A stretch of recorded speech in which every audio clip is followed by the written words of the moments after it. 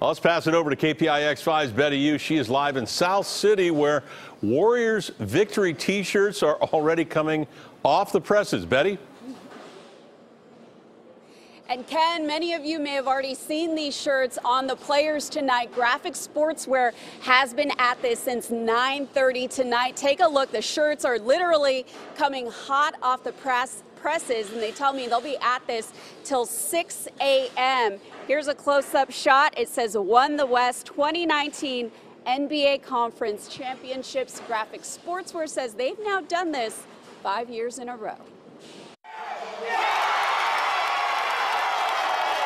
Game four on the movie screen drew a huge crowd tonight, dressed in blue and gold. It was a sweep! sweep! Easy sweep! How are you feeling? Feels so good! Feels so good! The Warriors did it again! Make that the fifth straight NBA Finals appearance but not all fans will make it to the last series at Oracle Arena. When you got a big family, it's too expensive to go to the to the home games. So this is something like being at a home game. This is as close as you're going to get with real fans, real love, diversity. Secondary ticket marketplace Ticket IQ has tracked data from the last five Warriors finals games. When looking at the average price of resale tickets, this year's series is proving to be the most expensive, though that will likely change after the team opens up additional tickets for sale. We think the reason that it's higher than it has been the last two years is one, there was Cavs Warriors fatigue, is that you know they had played four times in a row.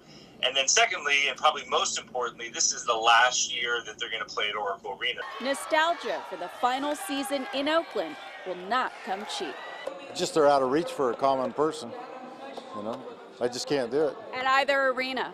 Either arena, yeah. I'd rather come here. This is more of a hometown feel.